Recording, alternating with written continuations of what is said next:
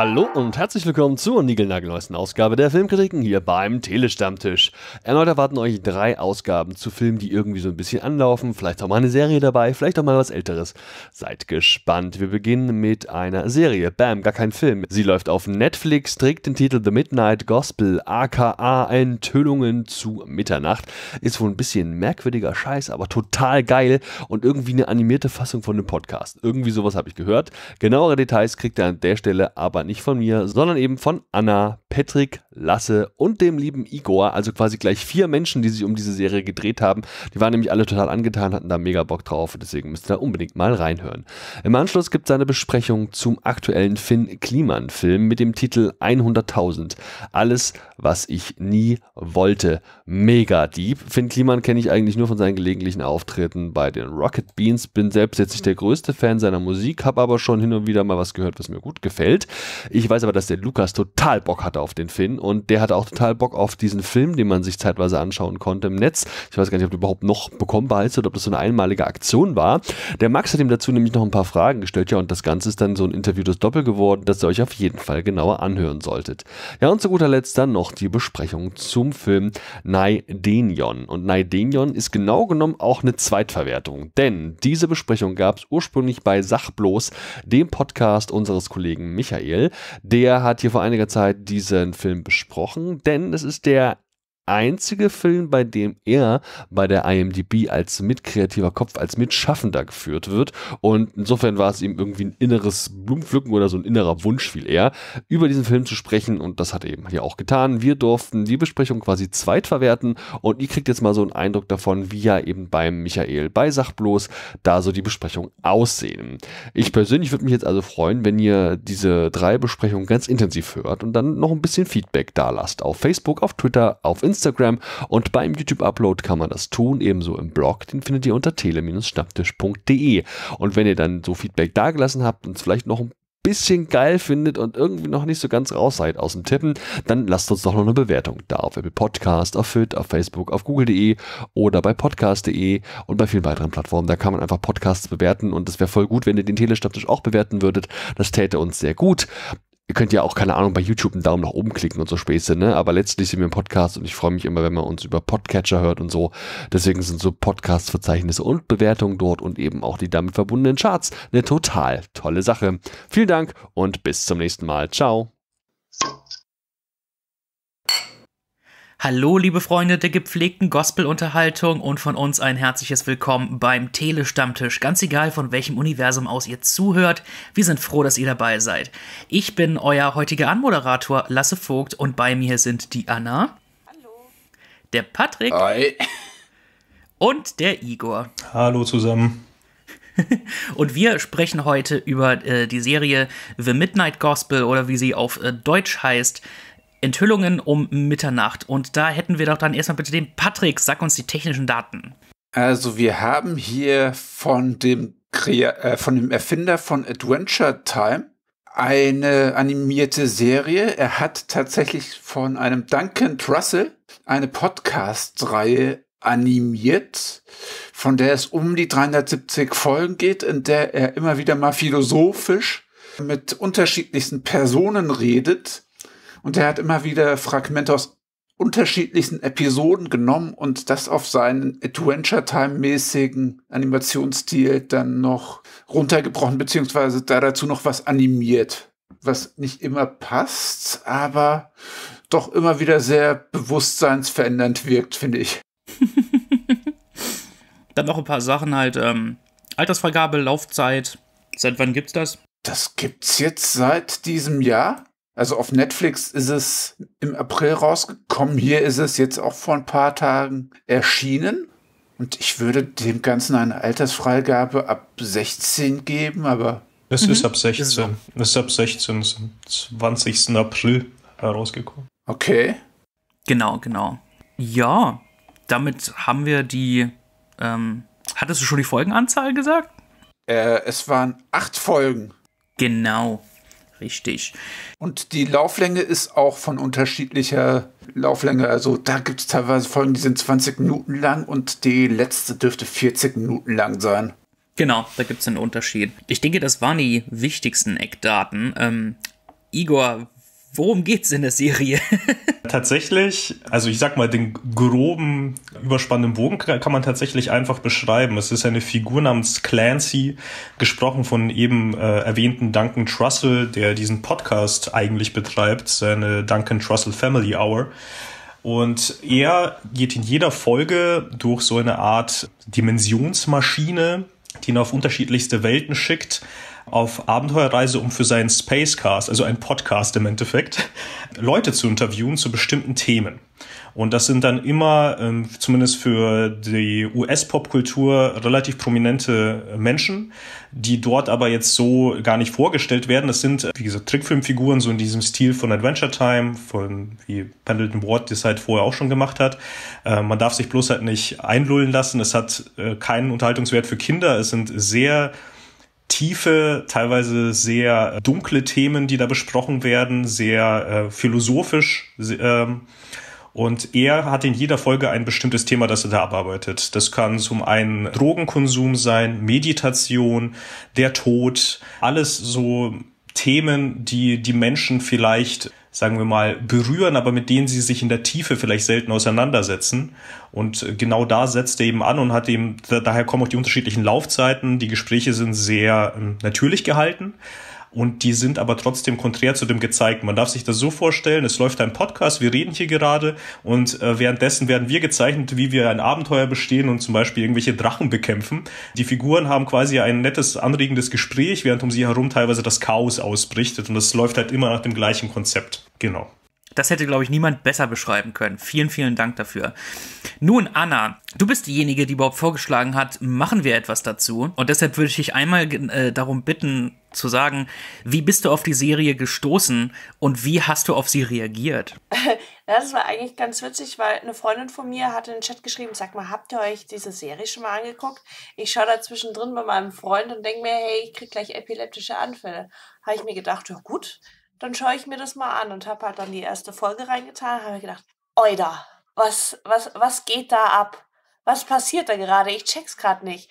Und dann ist, ist er halt da einfach, äh, wählt sich ein Avatar aus und dann steckt er halt so diesen Kopf in diese, ich sag's mal ganz salopp, Vagina-Ding, ich weiß nicht, was es ist, und dann wird er durch einen Brustnippel dann irgendwo hingeschossen und landet dann da auf einem Präsidenten in der Zombie-Apokalypse, während, also die Zombie-Apokalypse, es ist kurz vor der Zerstörung im Hintergrund, äh, sind dann lauter Demonstranten, die äh, für die Legalisierung von Marihuana kämpfen und äh, ich fand's irre. Also, und dann habe ich mir gedacht, also, okay, das ist jetzt interessant. Und dann haben sie halt eigentlich so, war, warum er für oder sagen wir mal, warum er kein Problem mit Drogen hat, aber trotzdem irgendwie dagegen, dann war halt wirklich dieses Gespräch um um äh, Legalisierung von äh, Drogen.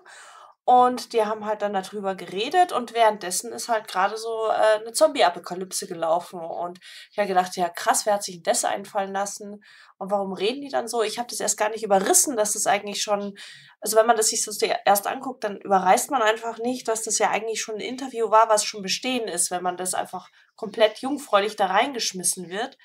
Und dann äh, nach dem dann musste ich halt weiter gucken. Das zweite war dann mit so einem Hundewesen, da wo er aufgespießt wurde und dann haben sie sich unterhalten. Währenddessen ähm, werden sie von komischen Killer-Clowns gefangen genommen, kommen in eine Fleischfabrik, werden dazu Hackfleisch verarbeitet und während sie Hackfleisch sind, reden die auch noch weiter über ich weiß gar nicht, über was reden die denn? Tod. Also es gibt mehrere Folgen, die halt sich um den Tod selber drehen und das war halt dann so der Aspekt, wie gehen Menschen mit dem Tod nahe Verwandter um und äh, ja. Genau. Also von dem her muss ich ganz sagen, Patrick, da, da hat das, was im Hintergrund passiert, schon extrem viel Sinn wenn man das jetzt zum zweiten Mal anguckt, weil das wird halt einfach dann so industriell zu Hackfleisch verarbeitet. Währenddessen haben sie halt einfach ein extrem tiefgründiges Gespräch über den Tod. Und das hat mich halt einfach von Folge zu Folge immer mehr mitgenommen. Dann habe ich also mitgerissen und ich fand das halt super toll. Und dann zum Schluss, nachdem ich die Folge gesehen habe, habe ich mal geguckt, haben wir das eigentlich im Podcast? Und habe gesehen, nee, haben wir gar nicht. Oh, das ist traurig. Da müssen wir jetzt was ändern dran. Absolut weil mir mir ging es ähnlich, weil ich habe einfach nur, ich glaube, das war sogar am Starttag. Ich habe einfach, ich, ich habe einfach Netflix Startseite geöffnet und dann war da dieses Enthüllungen zu Mitternacht. Ich denke, was zum, was zum Fuck ist das? Halt, ich hatte nichts davon gehört im Vorfeld, gar nichts. Und da dachte ich mir, was ist das neue Netflix-Serie? Und ich klicke drauf und äh, sehe die ersten Minuten denke mir, das wirkt wie so einer von diesen, weil es gab nach Adventure Time, genauso wie bei Gravity Falls, gab sehr viele von diesen Trittbrettfahrern, wo einige geschafft haben, etwas Neues hinzuzufügen und andere nicht. Und hier dachte ich, oh Gott, das ist ja so offensichtlich, die wollen das neue Adventure Time sein. Und dann sehe ich im Abspann, oh, es ist von Pendleton Ward, okay. Und ich dachte bei der ersten Episode, was zur Hölle ist das? Und ich glaube, es hat dann noch eine Episode gedauert, bis ich mal recherchiert habe. Und dann dachte ich, oh, mit dem Podcast-Gimmick wie das, weil ich halt dachte, wie zur Hölle kommt man darauf? Und ich hatte auf Twitter, ich hatte zwei Episoden gesehen und dann habe ich auf, auf Twitter einen Post abgesetzt, wo ich, wo ich gesagt habe, äh, eine, eine, so eine Serie wie Midnight Gospel macht mich extrem wütend. Denn egal, was ich in meinem Leben noch tun werde, ich werde niemals etwas so Verrücktes und Kreatives erschaffen wie The Midnight Gospel. Ja, das ist schon out of the state. Also ich habe noch nie so eine Serie gesehen. Weil man wird ja die ganze Zeit äh, von, von diesen ganzen Serien, ich bin ein ganz großer Family Guy-Fan und auch äh, Rick and Morty finde ich großartig, aber es ist halt einfach was komplett anderes. Es ist halt wirklich das erste Mal äh, ist, ich finde es revolutionär. Ich weiß nicht, wie es euch Ja, ich muss sagen, es hat mich tatsächlich seit langer Zeit eine Serie lange nicht mehr so berührt. Also man muss zum Hintergrund sagen, viele der Gespräche drehen sich um esoterisch angehauchte Themen wie Magie, Meditation und so weiter und so fort.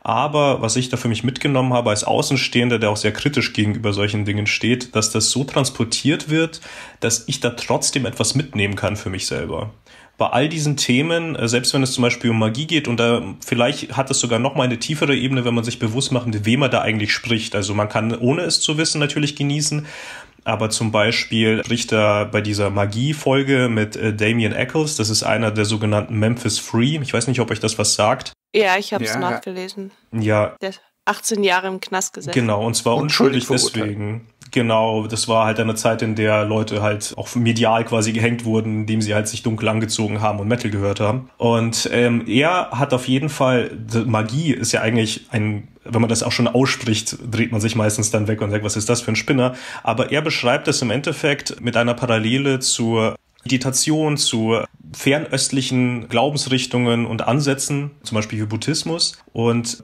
selbst wenn ich da nicht wirklich mit einsteigen kann, habe ich es dann eher verstanden und dann für mich mitgenommen. Entschuldige, ich habe Sie verstanden ganz. Äh, Hypotismus oder Buddhismus? Buddhismus. Buddhismus, okay. Genau, das heißt, er vergleicht das dann oftmals äh, als Parallele und dann geht einem dann so ein bisschen das Hirn, sage ich mal, auf. Und da habe ich tatsächlich dann nach jeder Folge auch wirklich reflektiert, mich mit dem Thema dann für mich selbst auseinandergesetzt. Und das Ganze hat sich für mich persönlich dann emotional richtig krass zugespitzt in der allerletzten Folge. Das war wirklich brutal also ich sag mal so, man kann sich mit dem, also ich weiß nicht, ob ich da konkret verraten kann, was drin ist. Ja, oder? Ja, eigentlich meine, schon. Du kannst, du kannst um das Thema sprechen, ohne jetzt wirklich ins Detail zu gehen. Es geht erneut um den Tod, aber es wird diesmal auf einer so persönlichen Ebene aufbereitet, dass man zwangsläufig mit reingezogen wird in das Thema. Man kann es nachfühlen bis zu einem gewissen Grad.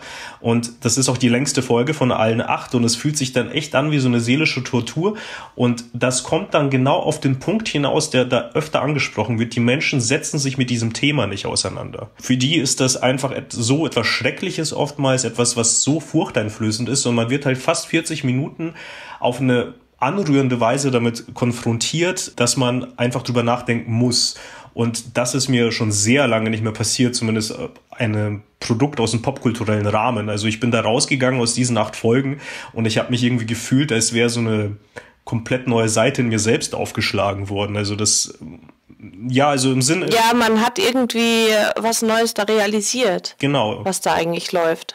In, in der Folge wird diese Art von Meditationsübung angesprochen halt. Versuch deine Handfläche von innen zu spüren. Jetzt versuch's bei deinen Armen und Beinen. Ich habe das gemacht währenddessen und habe wirklich so, so ein Gefühl gehabt. Ich hatte noch nie diese Art von Erfahrung. Also halt wirklich es, ohne übertreiben zu wollen, es gab halt so wirklich dieses, diese, diese meditative Erfahrung, die ich dann dabei hatte.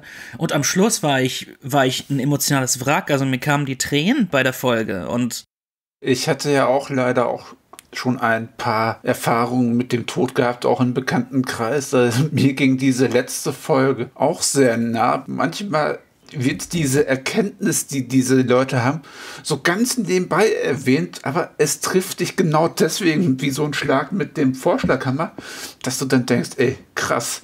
Gerade wo der Damien Eccles dann halt sagt, wie er, er im Gefängnis da regelmäßig grün und blau geschlagen wurde. Er ist unschuldig verurteilt worden. Und er sagt dann, ja, es war jetzt eben kein Arzt verfügbar und so. Also musste er anfangen zu meditieren und seinen Körper von innen heraus selber heilen. Ja, da war dann auch so diese Frage, warum bist du da eigentlich reingekommen? Ist es dein Karma gewesen, weil du so ein cooler Typ bist? Und dann hat er gemeint, ja, wahrscheinlich genau deswegen. Und er hat es halt dann einfach auch so erklärt, dass diese Erfahrung, die er da gemacht hat, dazu geführt hat, was für eine Denkweise er jetzt angenommen hat. Also äh, ich, man kann gar nicht glauben, dass er überhaupt verurteilt wurde, weil es eigentlich so der eine der friedfertigsten Menschen in diesem Gespräch ist, während er ein Boot voller Katzen hat und dann irgendwie, das fand ich auch irre, und dann diese kleinen Trumpfische auf einen zugekommen sind, haben die halt da einfach so geredet. Also es war halt einfach unfassbar.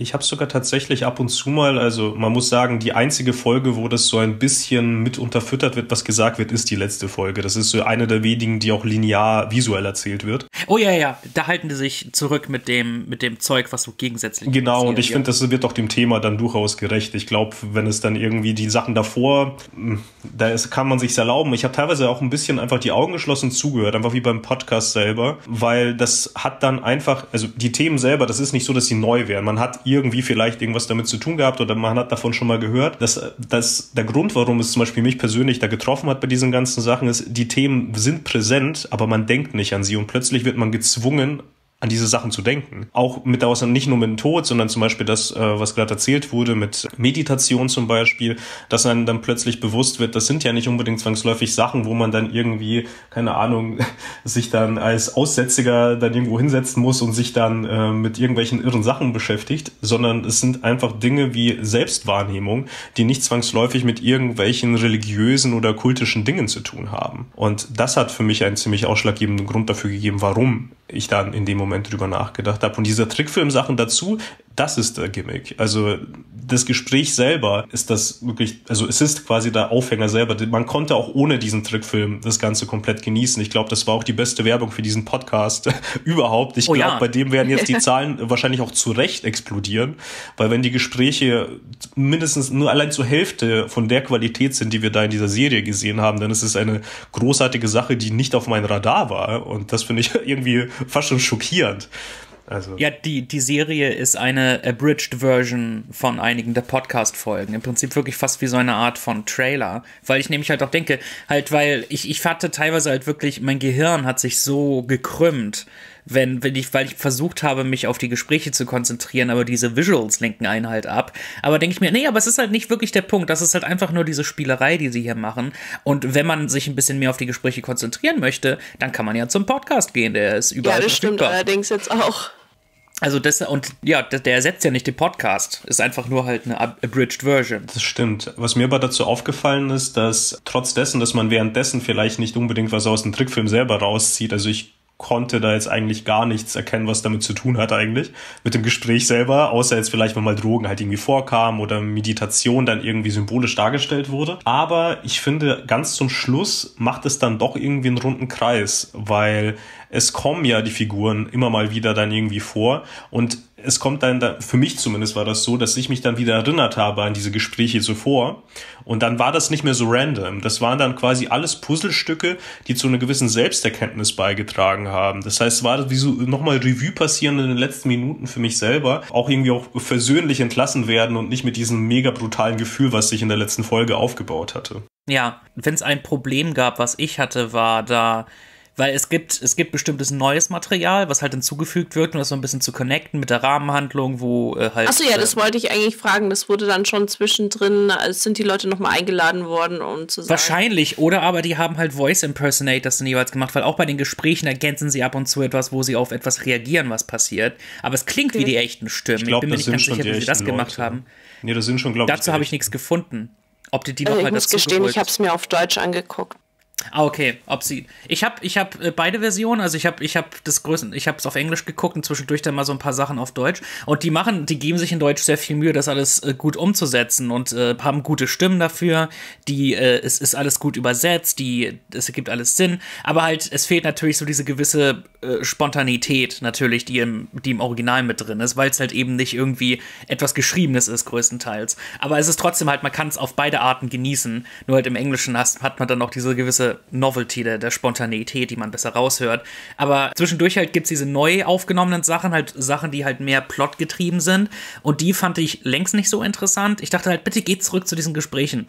Halt, bitte äh, konzentriert euch darauf. Zwischendurch unterbrechen sie das auch mal mit so psychedelischen Songnummern, die ich nicht so toll fand, die halt mich auch eher so ein bisschen rausgehauen haben. Ich, ich wollte ja, die halt Songs, einfach die wirklich. fand ich auch ein bisschen daneben. Aber die waren, Und die, also die waren die, schwierig. die Episode Ja. Aber die haben ja eigentlich waren das ja äh, Songs, die nochmal das Thema sozusagen nochmal aufgegriffen haben und nochmal äh, Songversion. Ich meine, ob das jetzt nötig war, sei mal dahingestellt. Aber inhaltlich haben die sich ja ausnahmslos mit dem beschäftigt, was davor quasi vorgetragen wurde im Gespräch. Also das war ja immer das, immer quasi das Konzept wiederholt sich ja. Es fängt halt an, ich gehe aufs Abenteuer, ich treffe jemanden. Was ich faszinierend fand, dass man quasi wissen muss, wer die Person ist. Das habe ich vorhin vergessen zu sagen, weil die haben ja alle Expertise. Also ich meine nicht im Sinne, dass sie einem bekannt sein müssen, aber es kommt schon ein neues Level hinzu, wenn man weiß, dass das Gespräch über Drogen mit jemandem stattfindet, der sich professionell damit auseinandersetzt. Oder ob, wenn es jetzt um Meditation geht, es um jemanden geht, der halt zwangsläufig halt sich damit beschäftigen musste, um einfach dieser Hölle, in der er gelebt hat, einfach zu entkommen. Genau, und einfach nach diesem Gespräch kommt dieser Song, der das nochmal dann aufgreift und das hat für mich dann das eigentlich dann ganz rund gemacht. Also das war, fand ich jetzt gar nicht so störend. Also die Qualität der Songs war abweichend, sage ich mal. Es gab die schwächeren und stärkeren, aber das hat für mich dann schon Sinn gemacht, um das Ganze dann auch nicht nur als, ja, ich mache jetzt einen Podcast und jemand malt drumherum oder so. Sonst hätte man sich Ich schenken können. Es ist ja auch nicht in jeder Folge. Halt die, die Folge, die ich am wenigsten mochte, ich glaube, es war Episode 6, wo es halt größtenteils einfach nur ist, er geht zum Nachbarn und versucht seinen Apparat zu reparieren. Erst ganz am Schluss, erst in den letzten acht Minuten. Das Problem ist, die letzten acht Minuten haben eins meiner Lieblingsgespräche tatsächlich. Wenn er dann tatsächlich zu einem, zu einem geht und ihn interviewt, weil der ganze Rest war, glaube ich, dann einfach neu aufgenommen für, für Plot äh, Ach, war Dinge. das, war das das mit diesem äh, Skelettritter, der dann irgendwie in dem Strahl gefangen war? Ja, genau. Ja, genau, halt, wenn, und er geht zum Nachbarn und holt den Saft für die Maschine und dann kommt der Typ und versucht die Maschine zu reparieren. Das war halt größtenteils, das hat mich dann eher an sowas erinnert wie, wie äh, halt so ein Plot, der auch in Adventure Time äh, vorkommen könnte. Aber dachte ich, nee, nicht so viel Plot, ich will keinen Plot. Ich will die Gespräche, aber halt das Problem ist, am, am Schluss der Folge, so die letzten acht Minuten, das war eins meiner Lieblingsgespräche und das war halt leider nur so kurz. In den besten Episoden greift aber auch diese Gesangseinlagen, diese Gespräche und die Animation halt richtig gut ineinander und das ist so ein richtig schöner psychedelischer Trip, wie ich noch nicht mal bei Fear and Loathing in Las Vegas erlebt habe. Oh ja, da gibt's parallel. Ja. Ja, ich habe mich auch gefragt, wie sie das geplottet haben. Also ob, ich habe mir mal vorgestellt, die sitzen in dem, äh, also im Autorenraum und die werfen sich nicht Ideen zu, die sie dann ausarbeiten, sondern die reihen sie einfach aneinander, bis dann irgendwann quasi sagen, okay, jetzt müssen wir es aber zum Abschluss bringen. Also zumindest hat das so auf mich so ein bisschen gewirkt. Das Gras ist gleich alle, wir müssen zum Abschluss. Anders ja, als wenn's diese so Glas wäre, die ne? Methode, wo der äh, Justin Roiland immer wieder mal besoffen improvisiert hat, denke ich, also da teilweise auch ordentlich bekifft improvisiert haben und dann diskutieren sie über Legalisierung von Drogen. Also den Gedanken finde ich schon sehr geil. Ich bin mir sicher, so viele Leute haben diese Serie High gesehen.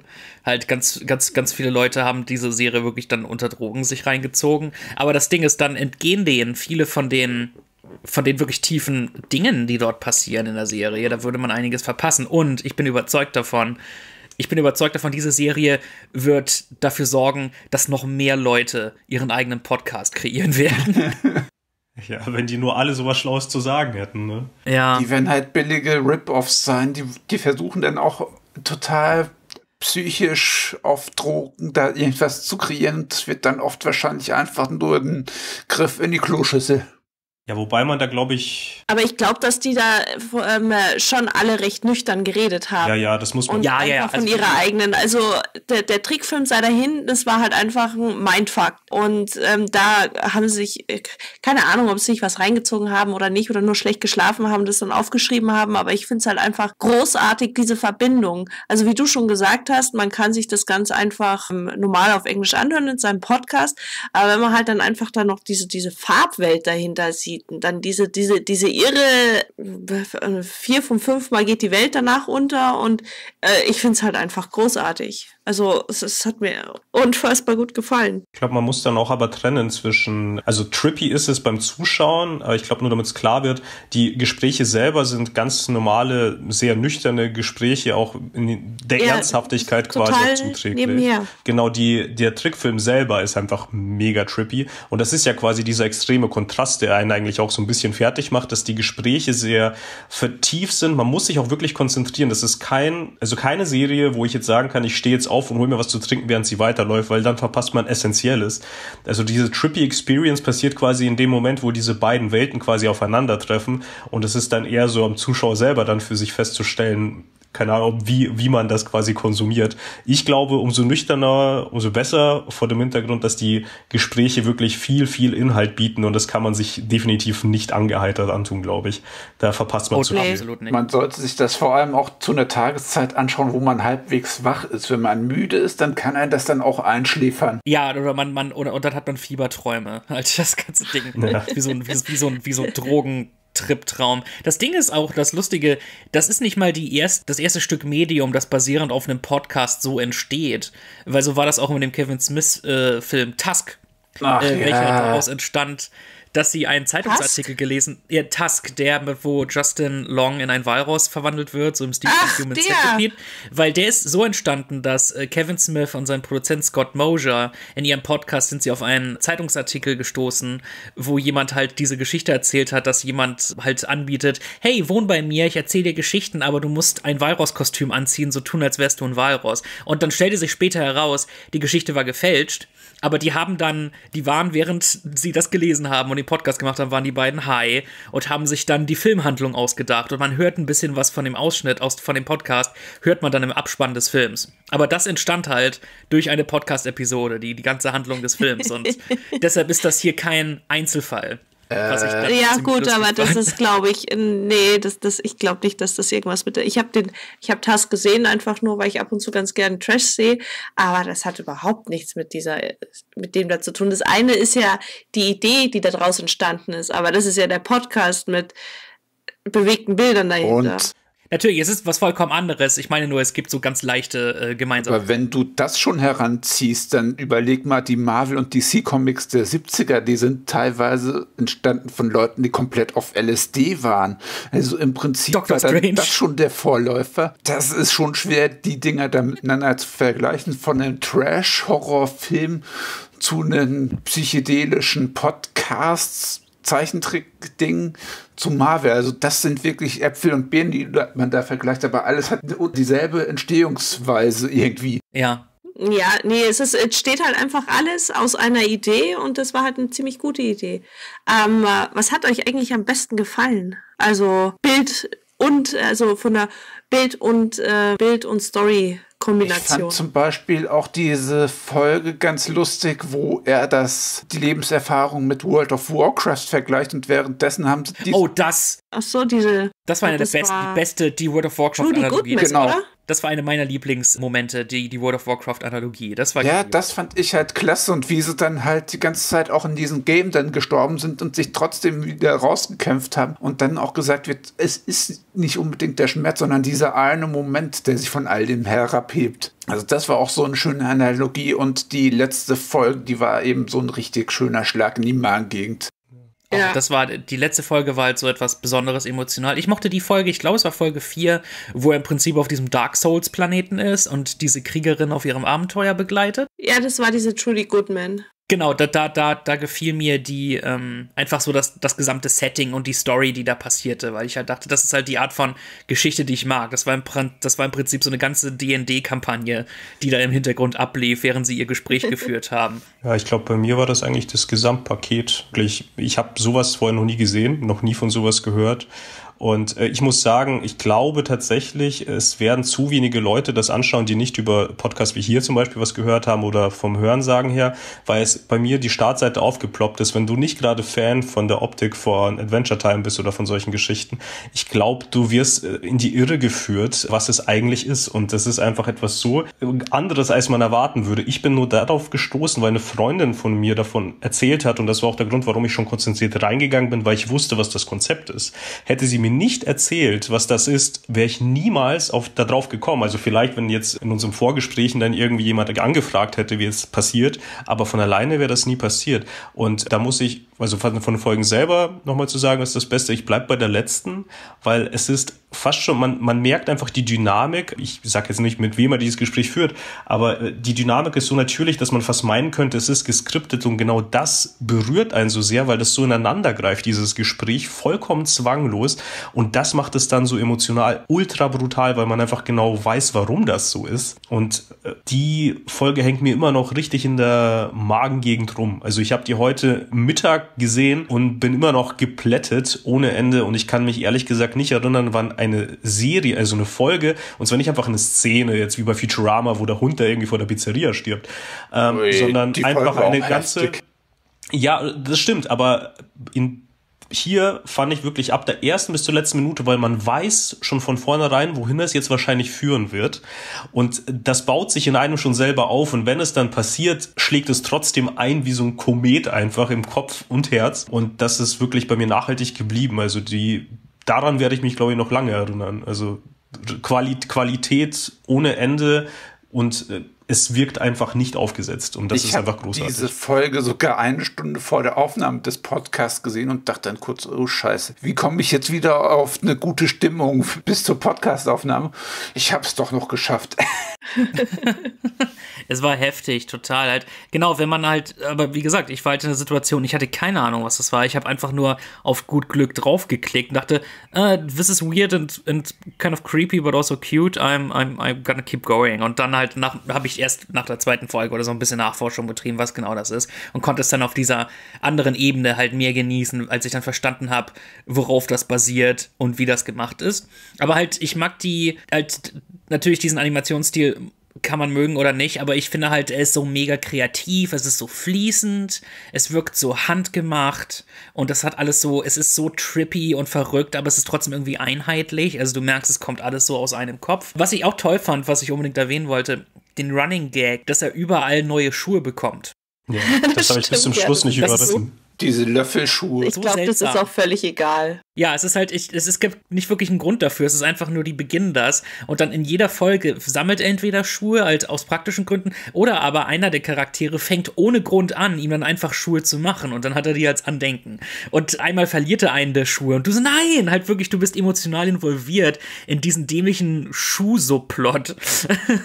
ja, vielleicht haben sie einfach einen Schuhfetisch dann irgendwie reingekriegt von, dem, von, von Duncan Trussell oder so. Er gemeint, das muss da rein. Also persönlichen Touch. Er heißt, er heißt Clancy, aber zumindest der Schuhtick muss rein. Vielleicht ist er so ein ähnlicher Fußfetischist wie Quentin Tarantino oder ein Schuhfetischist. Ja, das Wer weiß, das ist einfach. Keine Ahnung, aber vielleicht ist es einfach nur eine witzige Idee gewesen, dass man einfach so einen roten Faden hat. Wenn man dann in die nächste Folge geht, ah ja, das ist ja die Schuh von der letzten Folge oder von den letzten fünf Folgen, einfach so kleine Easter Eggs mit diesen, also die er halt einfach auch drin hat. Auch diesen Hund mit dem ganzen Universum im Bauch finde ich auch großartig. Der lässt dann immer Sachen verschwinden. Zwischendrin fällt er dann auch selber mal rein.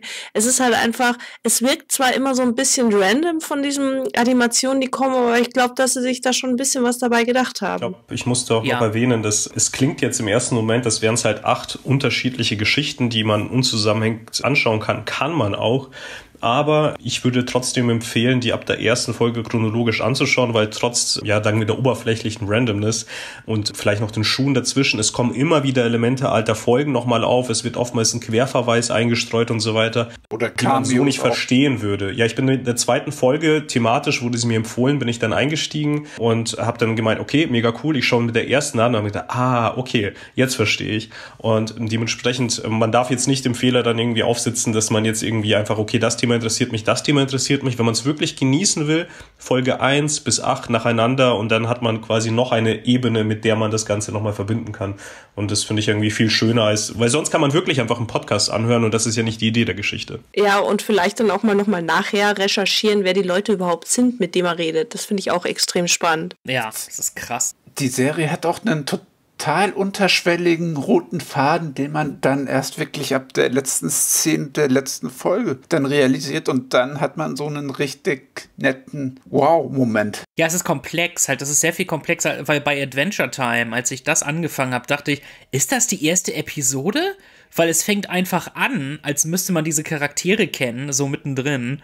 Und ich habe wirklich so mehrfach nachgeguckt, das kann nicht die erste Episode sein. Das, das kann einfach nicht. Aber äh, ist es dann halt, es fängt einfach so random an und das ist einfach der Geist dieser Serie. Und dann später kommt das mehr mit übergreifender Story und du, und du verstehst so den Sinn. Und ich, ich würde halt tatsächlich sagen, Adventure Time ist so auf diese Art mehr random wo es halt in einfach im Fall von Midnight Gospel ist es halt irgendwie so tatsächlich komplexes Storytelling im, im Hintergrund, teilweise auch im Vordergrund. Es verwebt sich zu diesem einzigartigen Ganzen. Und was mich von Anfang an irritiert hat, bis ich dann halt herausgefunden habe, wer das ist, weil der, der Hauptcharakter, also eben Clancy, klingt sehr wie Jake Johnson. Ah, Äh, der ja, Typ aus New Girl. Und ich, ich mag Jake Johnson nicht. Und deshalb dachte ich, oh. Aber dann konnte ich halt, ach so, es ist ein anderer Typ. Ich musste halt aber trotzdem so im Kopf beibehalten, es ist nicht Jake Johnson, weil seine Stimme klingt wirklich verdammt ähnlich. Und ich mag das Charakterdesign sehr. Er sieht sehr, sehr niedlich und liebenswert aus. Und die ganze Serie zeichnet sich eben optisch dadurch aus, also diese, diese Mischung, genauso auch wie bei Adventure Time, wo es irgendwie so, ja, es ist irgendwie niedlich, aber da ist trotzdem dieses, dieses gruselige Ding in den Designs. Ja, aber ich glaube, äh, bei Adventure Time da haben sie halt einfach mal am Anfang experimentiert, was sie machen können. Auch mal was, was Neues riskiert, muss ich ganz ehrlich sagen. Und Adventure Time habe ich auch zuerst die erste Folge gedacht, hä, kenn ich. Was der Bauer nicht kennt, frisst er nicht. Aber dass es vielleicht auch gut schmecken könnte, daran habe ich jetzt nicht gedacht. Und dann habe ich mir halt einfach so ein paar, so, so ein paar Folgen halt einfach auch angeguckt und bin halt einfach auch total äh, bei Adventure Time hängen geblieben. Weil man sich einfach auch drauf einlassen muss. Weil sonst, wenn man denselben Kla äh, Kladderadatsch jedes Mal sieht, deswegen funktionieren auch die Simpsons nicht mehr, weil es halt einfach irgendwann mal durchgelutscht ist. Und deswegen finde ich das halt einfach so erfrischend und so gut und deswegen war mir das auch so wichtig, dass wir über, über Midnight Gospel reden, weil es einfach was komplett Neues ist. Total. Halt, In den letzten Jahren hatten wir wirklich viel Glück mit bestimmten animierten Formaten. Wir hatten, das hat so richtig gestartet für mich mit Gravity Falls, wo ich dachte, wow, was für eine unglaubliche Qualitätsserie. Kurz danach oder halt fast zeitgleich gab es Adventure Time. Wir haben äh, Stevens Universe. Äh, wir hatten ähm, Äh, verschi Space. verschiedene Anbieter. Hilda hatten wir Hä? auch. Welche? Hilda, Hilda ist was, aber das ist halt noch ein bisschen konventioneller. Also das Hilda ist halt einer von denen. Ah, Hilda ist denkst- aber trotzdem verdammt schön. ist toll, aber halt, das ist halt eine von den etwas konventionelleren Serien im Vergleich zu so etwas wie Adventure Time. Aber es ist dann halt trotzdem schön, dass gerade diese Bandbreite an animierten Serien existiert. Final Space zum Beispiel fällt mir jetzt auch noch gerade ein. Ist auch grandiose neue Serie, auch irgendwie. Ja, und dann, dann gab es noch dieses andere mit der, mit dieser, mit diesem Mädchen mit dem Zauberstab, halt, She's from another dimension. Also ich, ich, ich ver habe leider vergessen, wie das hieß. Auch irgendwas mit Universe. Steven Ich glaube, Universe. das war auch mit. Steven Universe ist es jetzt aber nicht. Nee, Nee, nicht nee, Steven das ja Universe. schon. Es, ist, es gab irgendwas, äh, irgendwas anderes mit diesem, mit diesem Mädchen, das, das zu dem Jungen geht und das reist auch durch verschiedene Dimensionen. Es war auch von demselben Komponisten wie Gravity Falls, halt die Musik klang sehr ähnlich. Ich Star, Star, Star Space, nee, nicht Star Space, halt, ich, ich, Final Space. Nein, das war Nee, nee, nicht, nee, das nee, hattest du ja ähm, erwähnt. Achso, ich habe gedacht, du wolltest nochmal auf die Serie zurück. Star bla bla and the Forces of Evil oder so. Moment, ich muss mal ganz kurz Das nachschauen. war jetzt aber hoffentlich nicht die She-Ra-Serie, die neue. Nein. Gut. Oh, Star versus the Forces of Evil, so heißt die Serie. Ja, ja, aber auf jeden Fall, ähm, äh, seit, ich muss auch ganz ehrlich sagen, seit Adventure Time trauen sich auch die Leute immer mehr. Und ich muss dazu sagen, ich muss Adventure Time meine zweite Chance geben. Ich bin da noch nicht so drin oder hab's ab, abgebrochen, eben weil es für mich ein bisschen zu sehr komisches Gemisch war. Ja, ich habe es auch einmal probiert und dann bin dann wieder raus. Man muss dazu aber auch sagen, ähm, der Appeal ist dann doch ein anderer. Ich meine, wir vergleichen das jetzt zwar natürlich zu Midnight Gospel oder äh, Enthüllungen zu Mitternacht, aber Adventure Time ist, glaube ich, für mich so ein bisschen wie SpongeBob. Es heißt eh, primär, Ah. nee, nee, äh, nicht, nicht inhaltlich, aber halt der Appeal ist, man will ein sehr junges Publikum an sich binden, aber Erwachsene haben auch Spaß dran. Ja, ja, Gen- definitiv. Genau, das ist halt das, Das Kon ist das ist das Konzept dahinter. Während so etwas wie halt das, was wir jetzt heute besprechen, halt einfach sich explizit an ein erwachsenes Publikum richtet und das äh, erweist eigentlich in meinen Augen einen noch viel größeren Dienst an der Trickfilmbranche, weil es einfach aufzeigt, dass da jetzt nicht einfach so, ja, okay, wir machen es jetzt für Kinder, aber so ein paar Gags für die Eltern sind dabei, sondern es ist, äh, es kann so verpackt werden, einfach in dieser Kunstform, ohne dass es unbedingt an Kinder gerichtet ist. Man kann es als, nur als erwachsenes Publikum dann genießen und nicht quasi mit abgefischt werden. Und das macht es Es für mich sollten viel, eigentlich auch gar keine Kinder sehen. Nee, nee, nee, auf keinen Fall. Das Nee, ist das das, was ich vorhin gemeint habe. Also das ist äh, der der Preview-Bildschirm auf Netflix hat erst hat mir ins Gesicht geschrieben Adventure Time und ich habe gesagt nein. Und dann wurde mir halt gesagt von einer Freundin eben ähm, das nahegebracht, worum es da drin geht. Ich habe dem ein, quasi eine Chance gegeben und habe es nicht bereut. Und es ist explizit für Erwachsene und das ist in meinen Augen etwas äh, viel Wichtigeres, also für die Branche an sich, als jetzt die ganzen anderen Sachen, weil die würden so oder so produziert werden. Die richten sich nicht an uns als Zuschauer, sondern an äh, Kindern aus. Und das hier halt eben nicht. Das ist dann so ein bisschen dann wie, ja sogar noch ein bisschen reifer als solche Sachen wie Family Guy. Das würde ich natürlich auch keinem Kind jetzt geben, das ist so ab Teenageralter. Aber das ist eine Geschichte, dafür muss man auch eine geistige Reife besitzen, um das genießen zu können. Weil wenn man da reingeht und irgendwie ein Gag-Feuerwerk erwartet, abgesehen von den ganzen trippy Imagery, da wird man enttäuscht rausgehen. Also das ist nicht nur für ein erwachsenes, sondern für ein geistig reifes Publikum konzipiert als Trickfilm. Und das finde ich eigentlich so großartig.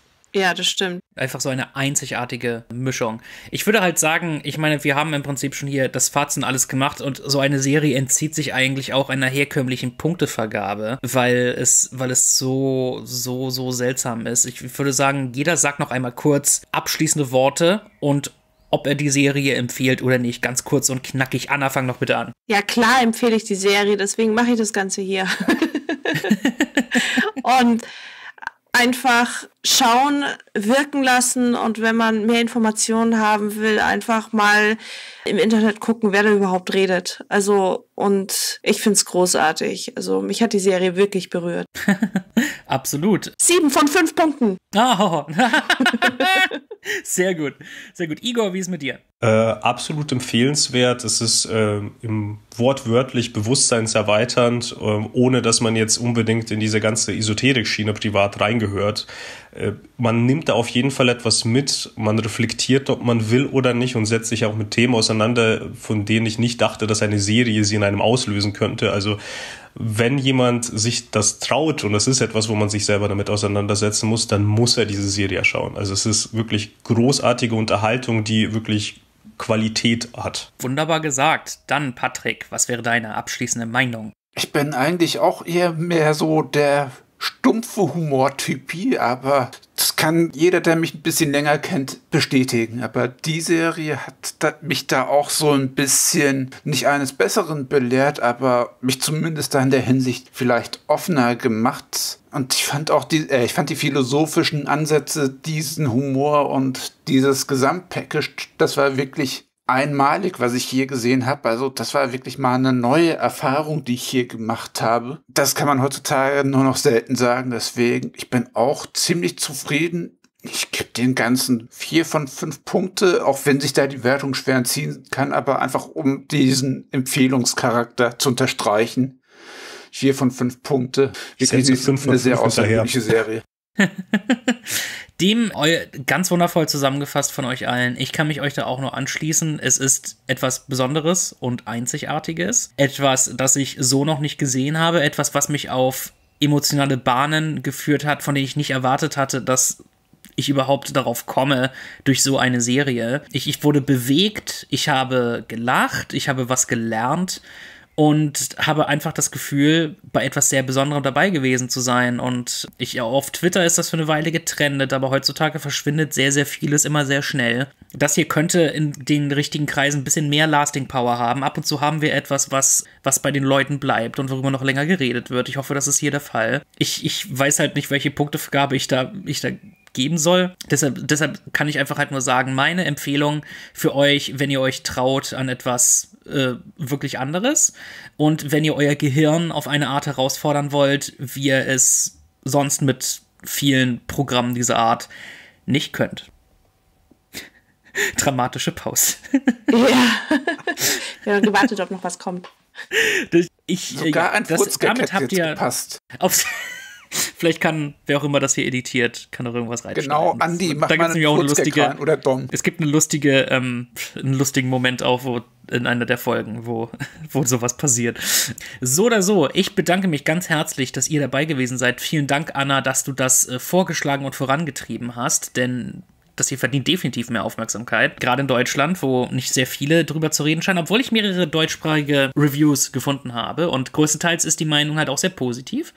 Also würde ich sagen, check it out if you're curious. Äh, in welchem Universum auch immer ihr gerade seid und uns zuhört, wir sind sehr dankbar, dass ihr dabei seid und wir hoffen, ihr bleibt auch bei den nächsten Telestammtisch-Episoden dran, denn wir werden euch weiterhin mit fleißig, fleißig äh, und vielfältigem Content versorgen und euch keine Meinung vordiktieren, sondern einfach nur unsere Meinung sagen. Denn dafür sind wir da. Wo auch immer ihr gerade seid, wir wünschen euch frohe Gesundheit, bleibt safe, äh, lasst euch unterhalten äh, und verliert nicht die Hoffnung, denn es kommen bessere Zeiten auf uns zu. Und mit diesen Worten verabschiede ich mich und meine Gäste sagen ebenfalls Tschüss. Ciao, ciao. Tschüss. Hallo und herzlich willkommen zu einer weiteren Filmkritik heute bei uns im Telestammtisch. Ich habe an meiner Seite heute den Lukas. Hallo Lukas. Hallo. Und wir besprechen den Film Finn Kliman, 100.000 alles, was ich nie wollte, ist ein Dokumentarfilm aus Deutschland aus dem Jahre 2020. Dauert 80 Minuten und ja, hat jetzt schön in der Corona-Krise äh, den Bundesstaat erwischt, was irgendwie bedeutet, dass er halt nicht ins Kino kommt. Aber irgendwie kommt er doch ins Kino. Und ähm, was ich damit meine, vielleicht kannst du da ein bisschen was erklären dazu. Genau. Also allgemein war der ganze Kinostart ein bisschen anders, als man das normalerweise kennt. Und zwar sollte der Film am 25.04. meine ich rauskommen, normalerweise in mhm. den deutschen mhm. Kinos. Genau. Genau. Und zwar nur für diesen einen Tag. Und da ging es dann eigentlich darum, da hatte eine Aktion gestartet, da konnte man dann als ähm, Person quasi angeben, in welcher Stadt man gerne diesen Film sehen würde. Und mit ein bisschen Glück wäre dann dieser Film auch in diesem Kino gelaufen. Das war eigentlich der Plan, dass die Doku an einem Tag nur läuft und quasi keinen richtigen Kinostart hat, sondern so einen Special-Tag hat, wo der mhm. dann läuft. Das ähm, zieht sich allgemein oft durch die Projekte von Finn Kliman durch, dass es alles ein bisschen spezieller ist. Das ist mit der Musik genauso. Zum Beispiel mit dem ersten Album, worum es in diesem Film geht, als auch in dem Album, was jetzt dieses Jahr noch erscheinen wird, in diesem Monat. Mhm. Und dann werden diese, das Album wird immer nur einmal produziert, also es gibt immer nur eine Auflage und danach kommt das nie wieder. Okay. Quasi, genau, also es geht da ihm dann eher darum, dass man sagt, man produziert einmal was und dann, damit man dann, ohne sich, sich selber zu belügen und hinterher dann immer und immer wieder doch das Neue aufzulegen, sondern wirklich, dass es das ein einmaliges Werk ist und wer es hat, der hat's und wer nicht, nicht. Und das ist bei dem, genau, genau. Und das ist bei dem Film genauso. Und das Problem war natürlich jetzt, dass anhand der Corona-Pandemie konnte dieser Film nicht in die Kinos kommen. Und da wurde sich das dann so ausgedacht, dass man auf deren eigenen Homepage konnte man diesen Film angucken, man konnte sich den Film leihen und dann genau am 25. an dem Tag, wo eigentlich der Film rausgekommen wäre in die Kinos, konnte man sich innerhalb von 24 Stunden den Film anschauen.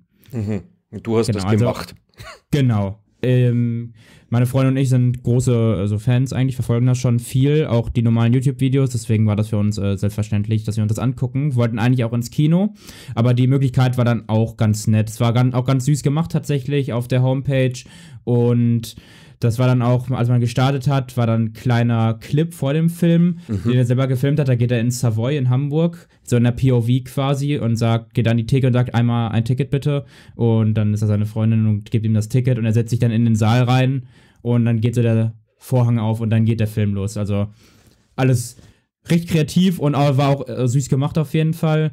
Und das Schöne daran ist, dass man am Anfang, bevor der Film startet, konnte man sich ähm, ein Kino aussuchen. Das, ein Kino seiner Wahl und 25% des Erlasses gehen dann an dieses Kino. Ah, okay, naja gut, okay, das ist, ist ja dringend notwendig heutzutage, dass Ja, die Kinos da äh, auch noch ihre Einnahmen bekommen. Jetzt sehe ich hier auf ähm, der Seite von Cineplex, dass der Film am 29.05. nochmal ins Kino kommt, beziehungsweise äh, ja, auf, äh, auf seiner Homepage sind da wieder Tickets fortbestellbar.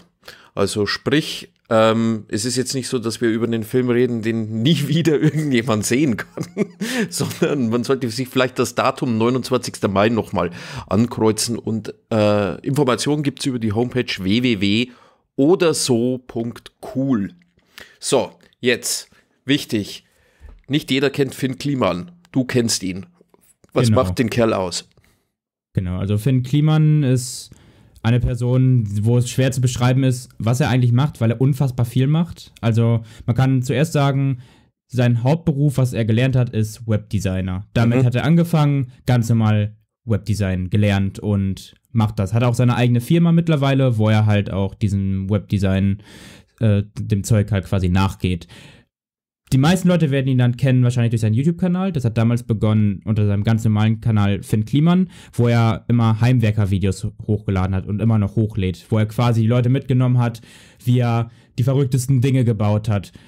Oder halt auch die simplesten Dinge, sei es ein Hühnerstall oder irgendwas in der Garage. Oder dann hat er zum Beispiel, gibt es auch ein Video, da hat er dann sein altes Auto, das ist, war so ein Kombi, hat er dann hinten das Deck abgemacht, hat er so einen Pickup-Truck draus gemacht zum Beispiel.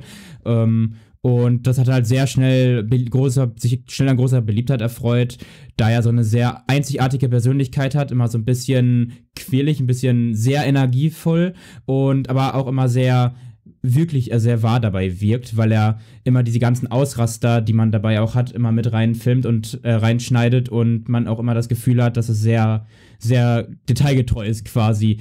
Und das ist halt, hat man immer sehr gern angeschaut. Und das Coole ist, früher hat er halt dabei ähm, in den Videos am Ende immer einen kleinen Song geschrieben und da hineingeschnitten, die auch wirklich immer sehr gut waren. Und dann kam es dann irgendwann dazu, dass er dann auch neben den YouTube-Videos dann auch halt Musik angefangen hat, professioneller zu machen. Und da ka- ist dann sein erstes Album vor zwei Jahren entschieden mit dem Titel Nie. Und darum geht auch diese Dokumentation, deswegen auch alles, was ich nie wollte.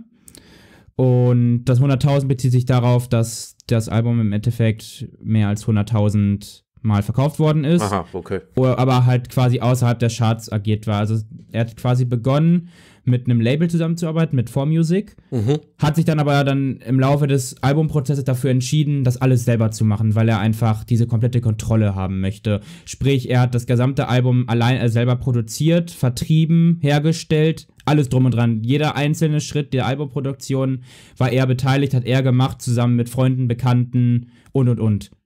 Und das ist schon sehr, sehr erstaunlich. Und da das in diese Dokumentation zeigt das halt auch, wie dieses ganze Album, wie diese ganze Produktion abläuft und wie ihm die Leute geholfen haben. Und auch, dann sind da auch die verschiedene, so halbe Mental Breakdowns auch drin. Und Mhm. dann dieses, also sich selber anzweifeln. Jetzt, Und- ähm, Entschuldigung, dass ich dazwischen grätsche. Jetzt Ja, stellt klar. sich für mich natürlich die Frage, wenn, wenn er eh ein, ein ich glaube, er ist schon seit, naja, knapp einem Jahrzehnt auf YouTube unterwegs. Zumindest kommt es einem Gefühl so vor. Wie viel Neues bringt die Dokumentation da eigentlich noch über Finn Kliman raus? Oder ist es eher wirklich so, dass er in dem Dokumentarfilm sagt, okay, wir konzentrieren uns jetzt wirklich auf dieses, ich mache das Album und will da ein bisschen in meinen Prozess reinschauen lassen und konzentriere mich darauf? Oder gibt es da ein bisschen, ja, wie sagt man, neue Seiten, die es da zu entdecken gibt? Also ich würde sagen, dass man auf jeden Fall Neues zu sehen bekommt. Da Finn Kliman schon immer in seinen Videos immer sehr präsent ist und sehr, äh, wirklich immer sehr präsent ist, ist es in dem Film nicht anders. Also er ist als Person immer sehr, sehr präsent in diesem Film und im Endeffekt geht es auch immer um ihn. Also da, das Interessanteste ist quasi immer noch die Person hinter dem Ganzen. Und der Film gibt schon hier und dort einen sehr intimen Einblick auch in das Leben und auch in das Privatleben. Und man kennt halt ihn von den Videos eher immer als sehr quirlig und sehr aufbrausend und glücklich und energetisch und man sieht da auch mal eine andere Seite von Finn Kliman. Also man sieht auch mal wie ver die Verzweiflung in ihm oder wenn mal irgendwas nicht klappt, praktisch. Genau. Oder das selber anzweifeln. Man sieht dann aber auch seinen Perfektionismus hinter dem Ganzen und man sieht aber auch, wie alle anderen Personen um ihn rum, wie er diese Leute einfach in sein Band zieht und diese Leute so am Ball bleiben lässt und dass jede Person, die irgendwie daran beteiligt war, wie viel Herzblut da drin steckt. Und man sieht einfach, dass jeder, der quasi dafür gearbeitet hat, daran mitgearbeitet hat, sein gesamtes Leben zu dieser Zeit da reingesteckt hat. Mhm. Und das finde ich wahnsinnig interessant zu sehen. Das kann man vom Sinn her könnte man das mit Stanley Kubrick vergleichen, der ja oh. quasi in, also, also nicht, nicht, also das ist eine sehr steile These, aber ich meine, ich meine das wirklich nur auf den Punkt bezogen, dass die Leute, die da dran teilnehmen, ja. auf ihre Weise da so drin sind, dass sie wirklich all ihre Energie da reinstecken. Also ich will damit nicht sagen, dass Finn Kliman irgendwie so ein kranker Perfektionist ist, der die Leute an den Rand des Wahnsinns treibt. Das wollte ich damit nicht sagen. Und ich will auch nicht sagen, dass Finn Kliman jetzt ähnliche Werke wie Stanley Kubrick erschaffen hat, sondern mir ging es jetzt wirklich nur um dieses, ähm, dieses allgemeine, dass die Leute dass er die Leute mit seiner Art einfach so in den Bann ziehen kann. Mhm. Ist es dann eigentlich so, dass äh, während des Films seine ja, Mitbegleiter zu Wort kommen und äh, so in einer Art Interview über Finn Kliman oder wie muss ich mir das vorstellen?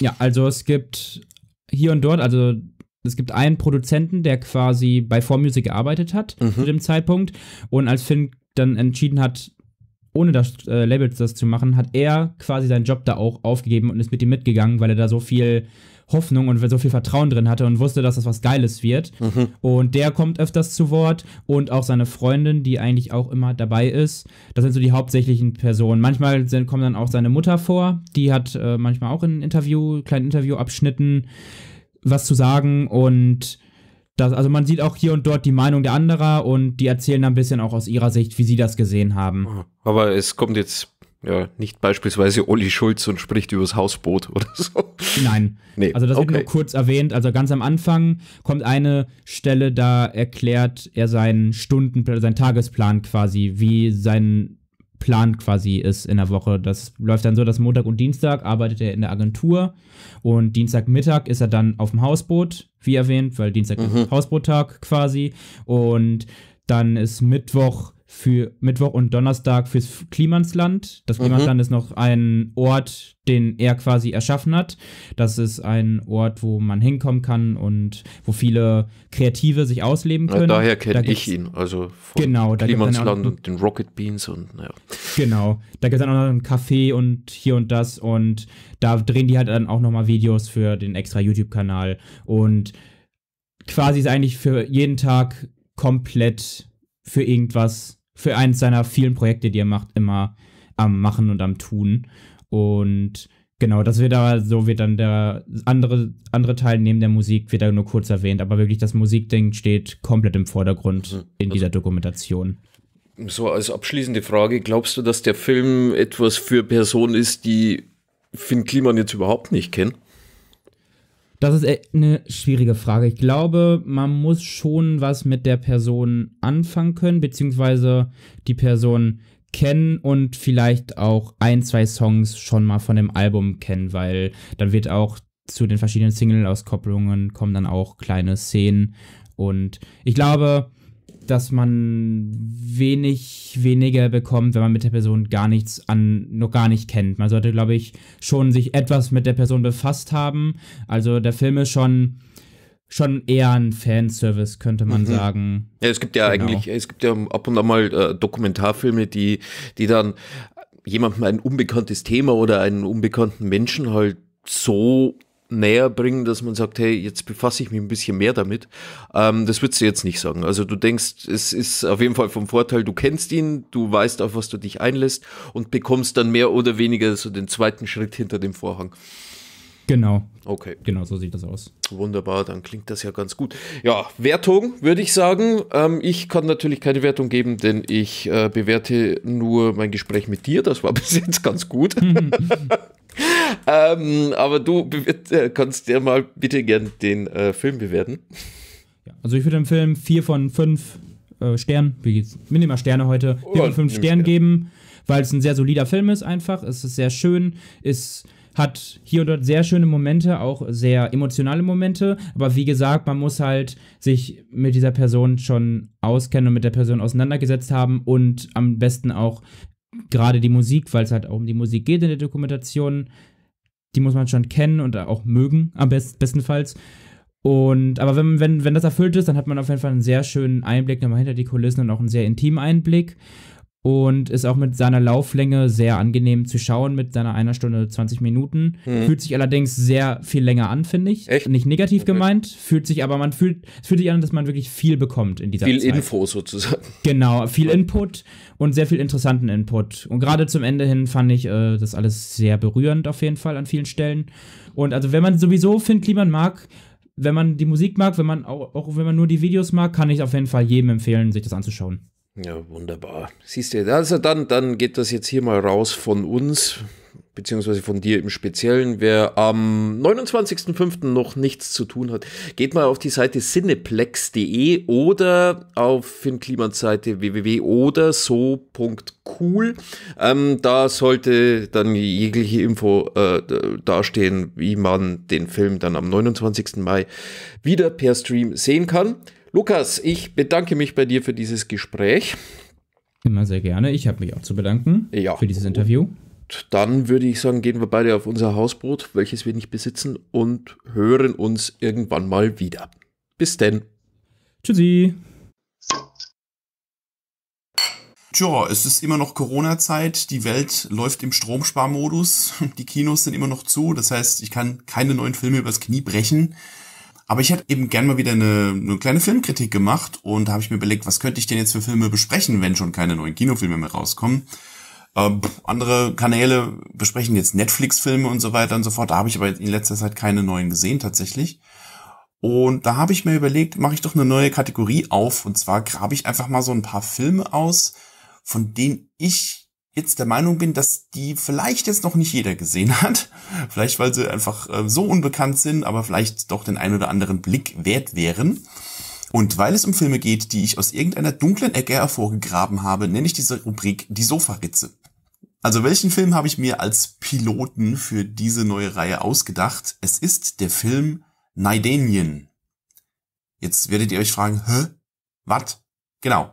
Naidenien ist ein Science-Fiction-Film, der kam 2011 direkt auf DVD raus. Es handelt sich also jetzt nicht um einen, äh, um einen Mega-Blockbuster, was erklären könnte, warum ihr vielleicht noch nie was davon gehört habt. Ich umreiß mal kurz die Handlung, die ist nämlich einigermaßen überschaubar. Der Film spielt im 22. Jahrhundert und zwar herrscht dann und zwar herrscht da schon seit 50 Jahren ein Krieg zwischen äh, zwei verschiedenen Imperien menschlicher Kolonien. Der Protagonist ist Walker, ein ehemaliger Soldat und Kampfpilot, der sich mittlerweile als, als Söldner verdingt und mit seinem, mit seinem alten Kampfraumschiff äh, irgendwelche Kurierflüge macht und so weiter und so fort. Also ist jetzt auch nicht so unfassbar innovativ, die Idee. Solo. Und eines Tages soll er eine Diplomatin zu einer Friedensverhandlung eskortieren beziehungsweise sie dahin chauffieren und die werden dann nach allen Regeln der Kunst sabotiert von allen möglichen äh, Stellen. Und der ganze Film geht eigentlich nur darüber, wie dieser Walker versucht, diese Diplomatin zu diesen Friedensverhandlungen zu bringen.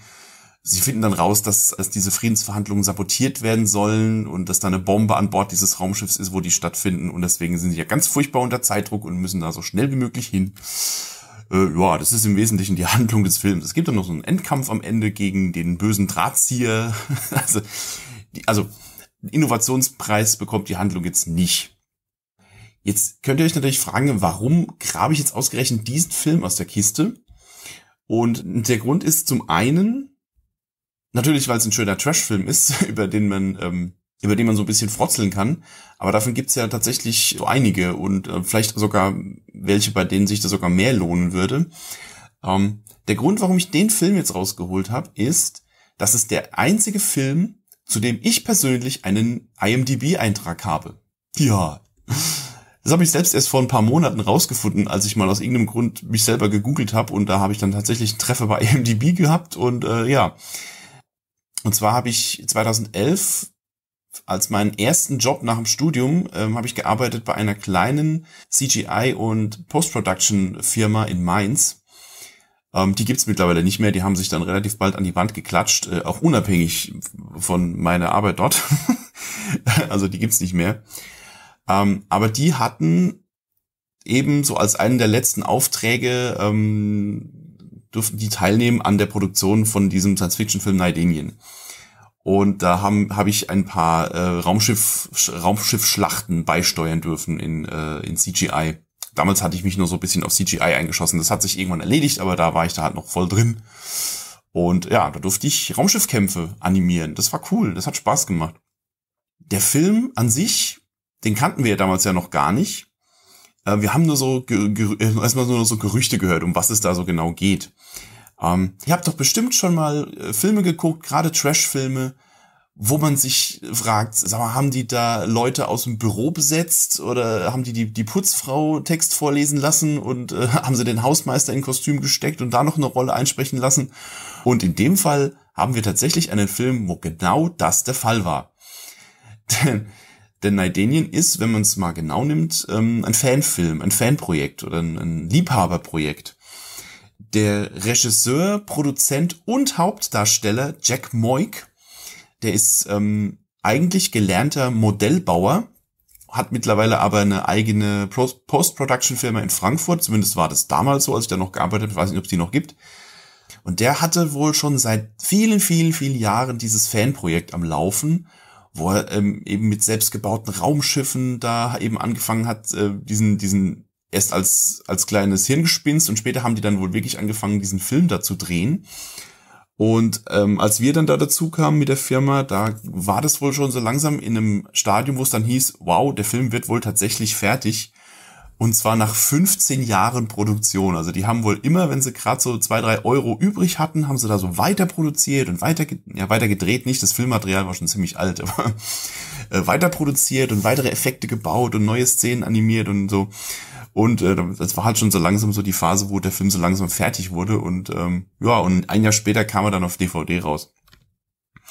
Das Geile daran ist, ähm, wir hatten zum Animieren nur so ein Dummy quasi, so ein, so ein Animatic nennt man das, so ein, so ein grob animiert, also der Film war, war fertig eigentlich in voller Länge, aber so alle Film, äh, alle Szenen, die Effekte beinhalten, war halt nur so grob zusammengenagelt. Und ähm, dann hieß es, ja, das ist ja ist deine Szene, so in etwa läuft die vom Timing her ab. Jetzt äh, hier hast du die Raumschiffmodelle, jetzt bauen uns das Ganze nochmal in cool.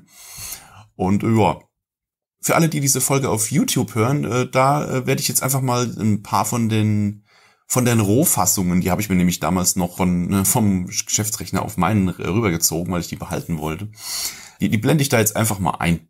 Da ist noch kein, kein Post-Production drüber. Die haben da später für die DVD noch, noch Effekte drüber geklatscht und alles. Also der ganze Film ist sehr, sehr überladen mit Effekten, um die teilweise sehr äh, mittelmäßige Qualität des Filmmaterials noch so ein bisschen zu, zu überspielen mit mal mehr, mal weniger äh, großem Erfolg. Ähm, aber so die Rohfassung des, ähm, das reine CGI ohne Effekte, das äh, kann ich euch hier mal so ein paar, paar Sachen zeigen, wenn ihr wollt. Und da hatte ich eben diese, diese CGI-Modelle von den Raumschiffen zur Verfügung und so ein paar Setups äh, in, in Cinema 4D. Unter anderem so ein Asteroidengürtel und so ein, so ein Weltraumschrottplatz aus tausend verschiedenen Einzelraumschiffen und so weiter und so fort. Und in den Settings sollten wir dann quasi diese Raumschlachten animieren. In der einen Szene ist auch ein Planet zu sehen, da habe ich die Textur noch selber gemalt damals. Also, äh, ja, das war ein, war ein cooler Job. Also wer das hier auf YouTube sieht, kann sich das da angucken. Und äh, wir hatten eben diese, diesen Rohschnitt und da waren eben noch die ganzen, ähm, auch, ich sag mal, Originaldialoge drauf. Man muss dazu sagen, der Film wurde für die DVD fast komplett nachsynchronisiert, weil da eben keine echten Schauspieler vor der Kamera standen. Also ich glaube, nee, nee, kein einziger. Alles, ich kann es nicht mal Laiendarsteller nennen, weil es sind alles, es sind alles irgendwelche Leute, die sie da aus dem Büro noch geholt haben und so es ärgert mich bis heute, dass ich diese Fassung nicht auch mir ge gerippt habe und mit nach Hause genommen habe, weil das ist das pure, das pure Comedy-Gold, die, diesen Rohschnitt anzugucken. Die, die Synchrofassung später ist auch nicht viel besser, weil da haben sie dann quasi ins andere Extrem, haben sie alle so sehr besonders cool sprechen lassen und äh, keine Ahnung. Und es, ist, es ist, es ist traumhaft. Ja, man sieht dann, es, da gibt es so Perlen drin, wie äh, es draußen, es findet die große Raumschlacht, Raumschlacht statt die Kampfpiloten äh, düsen in ihren Kampfjets da durch, durch ein Asteroidenfeld, draußen explodiert alles und ne, das ist hier die, die reine Action und die Leute in den Cockpits äh, gucken, als ob sie gerade Bus fahren und gucken so mit völlig ausdrucksloser Miene so aus dem Fenster und, äh, und ähm, aus dem, aus dem Greenscreen-Fenster und draußen explodiert halt eigentlich alles und das interessiert die aber alles so gar nicht. Also es ist, es ist ganz, ganz toll.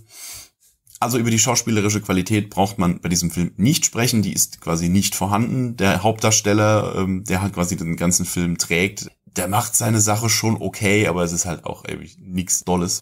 Die Synchro ist, wie gesagt, auch eigentlich mehr oder weniger furchtbar.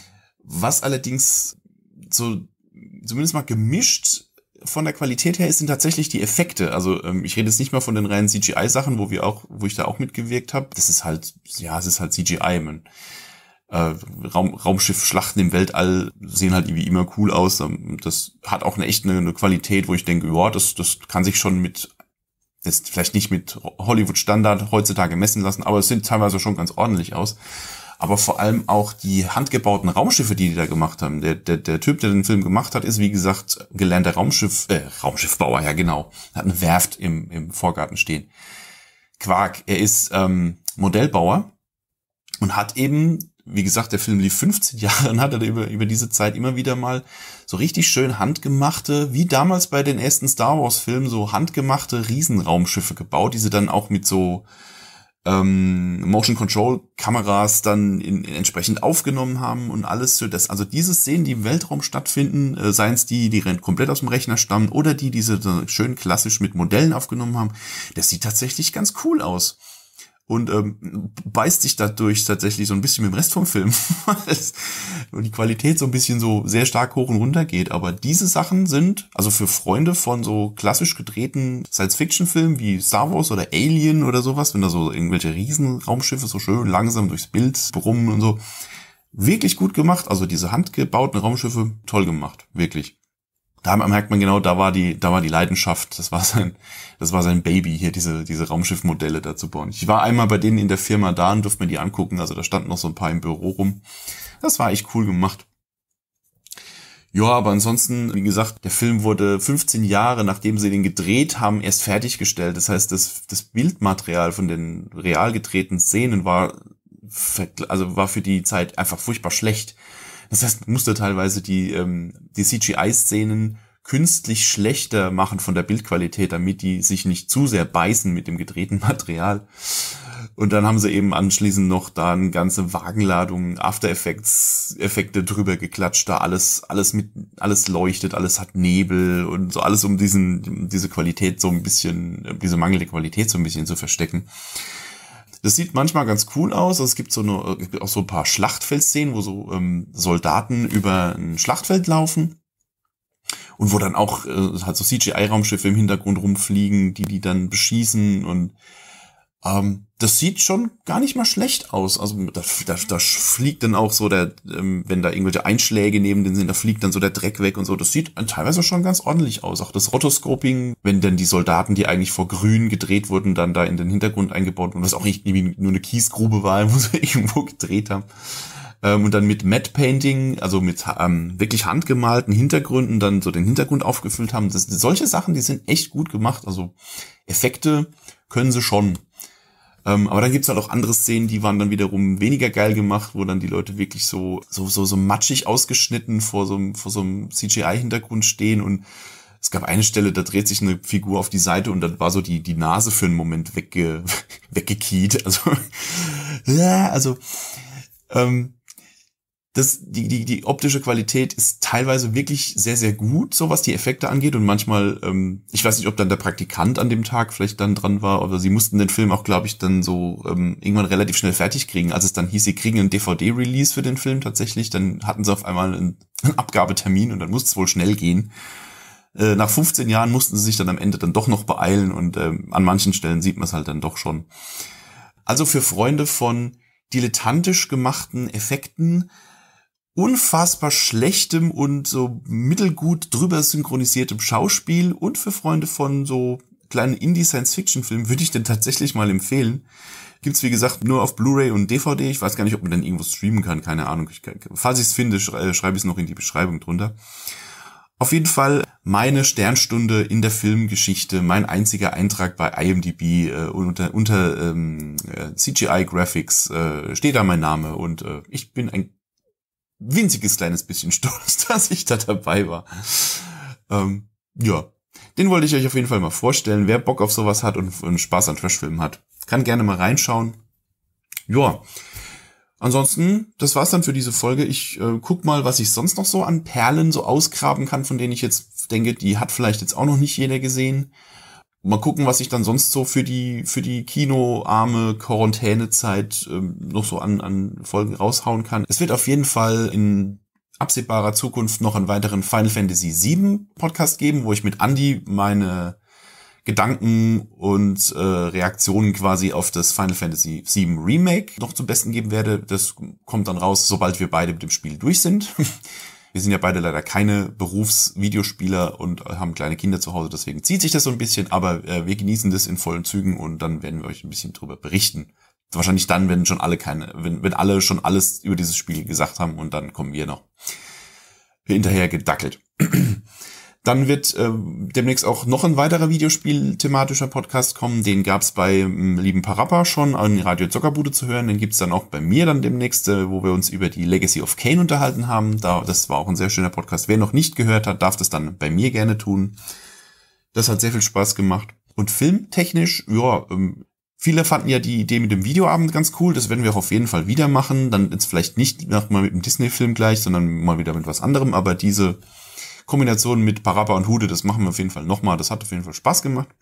Und was wir ansonsten so an Themen ausgraben, ja, schauen wir mal. Es wird wahrscheinlich noch einen Batman-Podcast geben, ähm, nach unserem Podcast mit Hude und Parappa über die alten, also die, die 90er Jahre Batman-Quadrologie, äh, werden wir dann wahrscheinlich bei mir erstmal die Nolan-Trilogie angehen und was danach so passiert und ob wir dann noch weitere Batman-Filme äh, angehen und was es da sonst noch so gibt zu dem Thema, das äh, werden wir dann in der Zukunft entscheiden. Und was ich tatsächlich auch jetzt mehr und mehr vorhabe, je länger ich das Final Fantasy VII Remake spiele, ist ähm, erstens das Original nochmal zu spielen. Und dann dachte ich mir, ey, wo ich schon gerade dabei bin, könnte ich eigentlich tatsächlich mal mein allererstes Let's Play draus machen.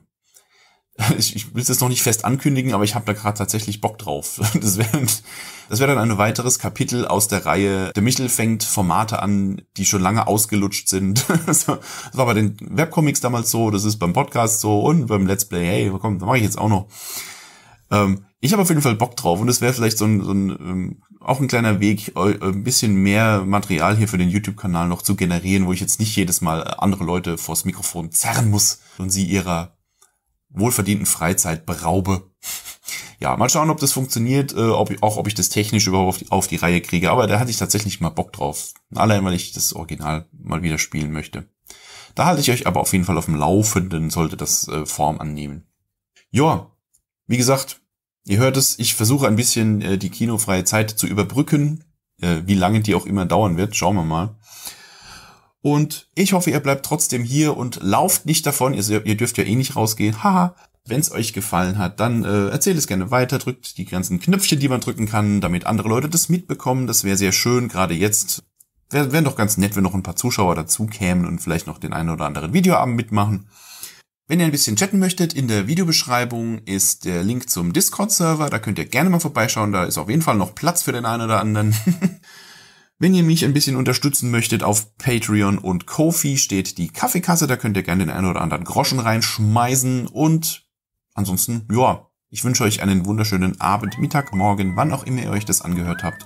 Und wir hören uns in der nächsten Folge. Bleibt gesund, bleibt daheim und bis dann dann.